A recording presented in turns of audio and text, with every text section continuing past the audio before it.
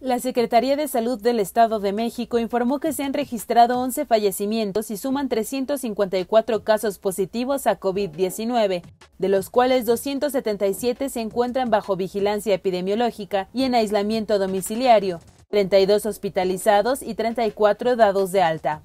La dependencia precisó que se tienen registrados 793 casos sospechosos, de los cuales ya se realizan el análisis de las muestras tomadas, mientras 1.395 han resultado negativos al virus SARS-CoV-2. Por su parte, el titular de salud mexiquense, Miguel Oshia Cuevas, detalló la importancia de que la población adopte las medidas preventivas, mantenerse en casa y en caso de salir, recomienda el uso de cubrebocas con el objetivo de reducir la probabilidad de contagio. Explicó que la principal fuente de propagación del COVID-19 es por el contacto con gotas de saliva de una persona enferma.